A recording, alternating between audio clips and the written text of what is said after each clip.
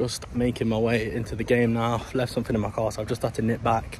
Um, so yeah, last match day of the league against York. Uh, a big game really because I think we've got to lay down the law. I think we, we need to see a good good win, good reaction. Um, been a great season for Notts, let's be honest. Uh, we, we, should really be finishing today's game on 109 points. As disappointing as that is, that we're not getting uh, promotion from that, you've got to take a lot of pride in it because we'll probably never see, I'll probably confidently say, uh, we'll never see a season like that again um, as Notts fans because uh, it's just, the heights are unbelievable and the quality that we've seen this season. Um, but yeah, team news is out. It's a little bit late to start today. I've had a busy day. Um, it looks like a strong team. Uh, probably not too dissimilar to something that we'd see for the playoffs. Maybe handful of changes in it, well, one or two changes in there maybe. Um, but I like that. I like that Williams has done that because it sort of sets the precedent. Um, so yeah, going to go in now. Kickoff's in about 15 minutes. So I've got my pace up. Um, yeah, cash up with Tom final home game of the season then it's York it doesn't mean anything in terms of league position but it does for momentum in my opinion we need to get the victory I am so over not winning the league I, I can't say how excited I am for next Sunday we'll see today will it be um, Barnet against Boreham Wood or Barnet against Bromley massive to see who we get and uh, I think the game's on Wednesday night I'll be looking forward to watching that very very strong side um, which is uh, which is just yeah exactly what I expect from Luke Williams going to that playoffs with the momentum you're also, if you can hear in the background, massive, massive following. Good on them.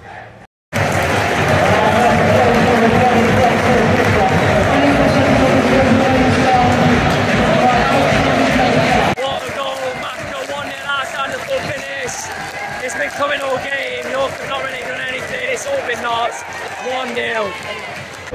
It's half time then. Langstaff gets a lovely, lovely goal to be fair uh, just before half time. I think that's what we needed. You know, they were frustrating us, I thought, in that first half. Uh, Mark Ellis playing fairly well. Um, Mark Ellis playing? I don't know, as you know. Yeah, I think he is, yeah. It, well, it looks like it. And he does play for York, so I hope it isn't. I'm going to look that. No, but yeah, they're not offering a lot. Um, they're offside a lot.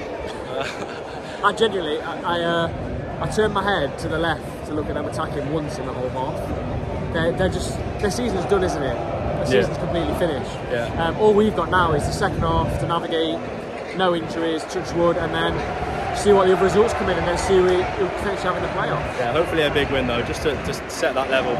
So uh, yeah, big second half upcoming. One one late on, they've had nothing all game. I think it's Shaq Forde. I learned from Watford scores one one. Bit of a damage in this season, but we've played exactly how we played all season. Uh, just been punished. They've been good in goal. No, goalkeeper's been good. Uh, yeah, disappointing, but it is what it is. Game's finished then. It's going to be different to what we usually do. No fans on this time. We're going to have that throughout the week. Um, obviously, we've got the Aaron Man um, video tomorrow night, so that's going to be premiering at seven. But let's let's just talk about the game first of all, and then the season on a whole. I think we've got a bit different perspective on the game. It meant nothing, realistically, other than momentum. We drew one-one. Shaq Forde coming on for them and scoring. Uh, we should have been out of sight. We hit the post. Their keeper game of his life without a doubt. Some fantastic saves. I thought it was a good performance. I thought on another day was four or five goals to the good. I know we weren't, but for me, get out of your system now. Yeah, I mean, there's obviously two ways of looking at it for me. Um, obviously, you, you, look at the league table. What did we finish on? 107 Seven. points. That's ridiculous, and we're not won the league. We're not even got promotion. It's it's awful. Not yet, anyway. Um, but yeah, I thought we did really well controlling possession today. Uh, we had some really good chances. Like you said, their keeper phenomenal. Um, but it just concerns me that we concede like that again. It's just that high line, isn't it? And let's get it straight. York, York are poor. They're, they're, like they were a shade away from being relegated. Um, so we can't get that twisted. Um, yeah, it, it, it, does concern me a little bit. Look, we've had an amazing season. I was saying this to Jordan earlier because he, he was sat near me in the game we we will never in our lifetime see Notts get 107 points ever again. It might not ever happen ever again. Um, so the credit has got to go to, to the, the staff and the players because they've had a fantastic season. Um, but purely on the game today, just I don't know, like a little bit disappointed because you look at the lineup when the lineup comes out, it's full strength. You know that that's a similar team that you'd be expecting to see in the playoffs. I think it is the team. It pro- yeah, you're probably right. It probably is the team that we're going to see. You know, on Sunday. Um, so, you know, you're kind of hoping for a big win. I, I sort of said it in the week, and yeah, their, their keeper didn't. You know, the keeper made it difficult for us with, with some good saves, but you just sometimes you got to have the answers, aren't you? And I don't know. I, I don't want it too downbeat, but it's just we. For me, it was a, a, big game today in terms of if that is the team that's going into playoffs. It took a bit bit of a knock, I think. See, I'm, I'm completely disagree. I, I think no matter who you are, no matter the mentality that Luke Williams instills into the players, it's impossible to have the same mentality. It's yeah. impossible. Like part of your in part part of your brain is thinking we need to we need to keep our energy for next week. Part of it's players probably thinking I don't want to get injured. And when Mako went down, my heart was in my mouth. If I'm honest, yeah. you're thinking let's not get players injured. So I just I genuinely think there's so many different like so many different things that that could be going through the players' heads. Drawn one-one, putting in a performance up until their goal. I think I would have left that. Ha- would you have left it happy if we finished one 0 Yeah, yeah, because we like we said we've had chances. The keeper had. Um, but that's not what I'm unhappy about. I'm, I'm, happy that we had those chances. I'm happy we scored. I'm just disappointed that we've and it was the one chance they had and they buried it. But it's happened again, hasn't it? Do you know what I mean? Um, it's that similar sort of frailty that we've seen when we have conceded goals that I think a team in the playoffs might be able to exploit a little bit better. That's why it concerns me. Yeah, I understand what you're saying, but I genuinely um that doesn't doesn't really bother me at all. I mean, we might both have different perspectives at the end of the season. Um, we might have different perspectives at the end of the season, but you never know. Um, so looking ahead to the playoffs, then um, it looks like it's going to be Boreham Wood or Barnet. Bromley drew one-one against Oldham. So, which of those sides would you rather take? I don't know. I honestly don't know. Who who who would you go for? This might come out to bite me. 100% Boreham Wood on paper. Barnet have the players to go over the top and in behind, exactly like York did and exactly like Wrexham did. They have Kanu, they have um, what's his name that scored those 20 odd goals for them this season. They have players that can do that. Boreham Wood don't concern me in that same sense. Yeah, I mean, for, for me, I, I don't know. Boreham Wood do worry me. They, all the teams there worry me.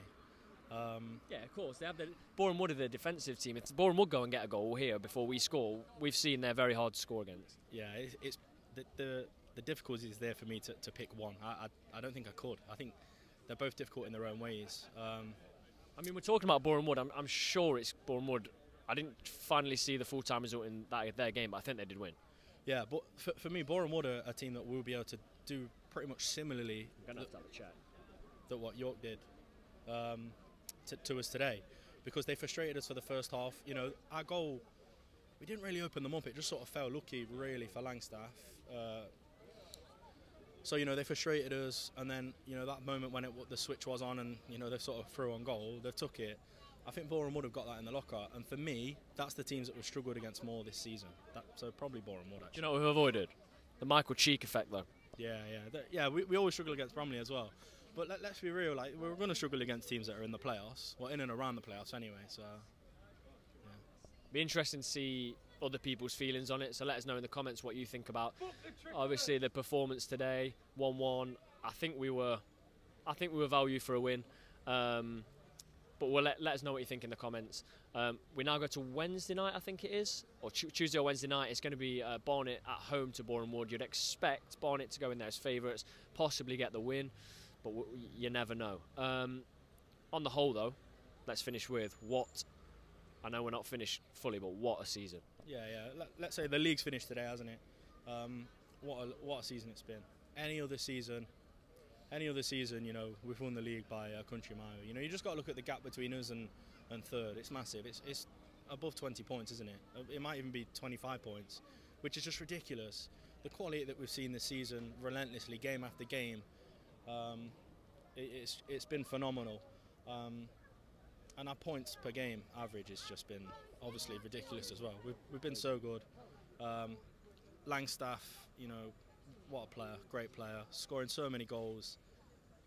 Matty Palmer, fantastic. You could go through all the players because they've all been good, but for me, they they sort of main few. And, and I've got to mention Cameron because I, I voted him for my player of the season. I think as a captain this season, he's been great. You can't underestimate what a captain has to do in a team like Notts. You know, when you're going relentlessly you know, week in, week out to win games. The mentality has to be there, and it has to be there all the time from the captain. So, big credit to him. Yeah. Um, that takes us into a big, what, eight days now until the playoff semi final. We'll know, as I've already said, who it's going to be later on in the week. Um, we're going to have a fair few videos up between now and then. As I've said, the Iron Main video um, is going to be out tomorrow evening. We've got the usual paper perspective and possibly another special video before that playoff semi final. Just back to my car now. You know, a good day at the lane. Just a little bit disappointed with that goal at the end. Um, but you know, now it's a, a, little bit after the final whistle. Uh, I am looking forward to the playoffs as we should be. Um, you know, a massive two games ahead for Notts. Um, and you can't help but be, you know, confident. Uh, there's a little bit of a slip up in there. Um, we've seen it this season a few, very few times, but you, I just hope we don't see it in the playoffs uh, with our high line. But we can't help but be, be positive and happy for the season that we've seen. Uh, so massive credit to, to Luke this season. Um, if you've enjoyed the video, please subscribe, like, and uh, comment what you thought of the game and your feelings going into the playoffs. Thanks for watching, guys.